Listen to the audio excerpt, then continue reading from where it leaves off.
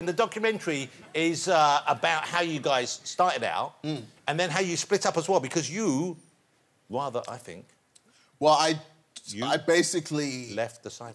yes, yes. You're the same Well- man. Traitor! Because I wanted. We have a traitor in our midst! thank you, thank you, Claudia. So yeah, I actually did uh, leave. Well, it's because I kind of wanted to make it big. I wanted to make it big in America. You, were, felt- uh, but as a solo, you were prepared to drop your friends. yeah. you make it sound so bad. Well, it is. yeah, fine. Fi- Oh, don't do that. No. How did you drop No, but it's okay because they're all back together. Did you take them out to dinner or how No, did you No, do it's it? even worse. It's even worse.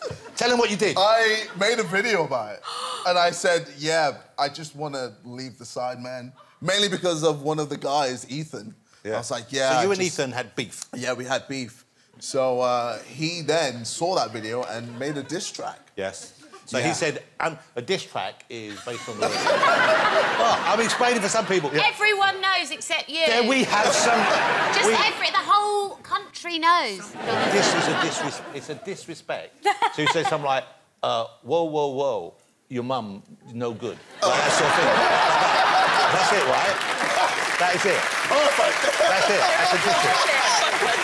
Perfect.